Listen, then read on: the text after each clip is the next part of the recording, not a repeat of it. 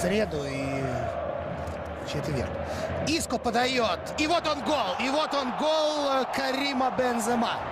1-0. 55-я минута. Реал выходит вперед. Не использовала Гранада свой шикарный, хорошую подачу Иска.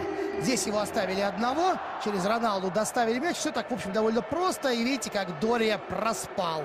Проиграл борьбу Бензема. Бензема от него отклеился.